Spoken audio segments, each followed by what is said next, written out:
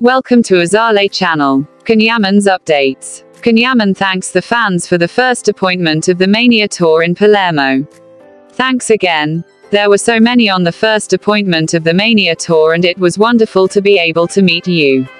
This is the post published by Can Yaman on his Instagram profile, together with the video of the perfume promotion held at the Aldo Coppola Salon in Palermo. It goes without saying that the Mania perfume has sold out and the many Palermo fans who have not managed to have a close encounter with their idol ask for a new appointment to buy the perfume. It must also be said that Palermo is only one stage of this tour and that soon other Italian locations will be affected by the initiative. On social media, the fans are in trepidation and waiting to know the dates and cities where the Mania tour will stop. Meanwhile, thousands have replied to Can Yaman's post of thanks on Instagram, not only from Italy but also from abroad. Thank you for watching.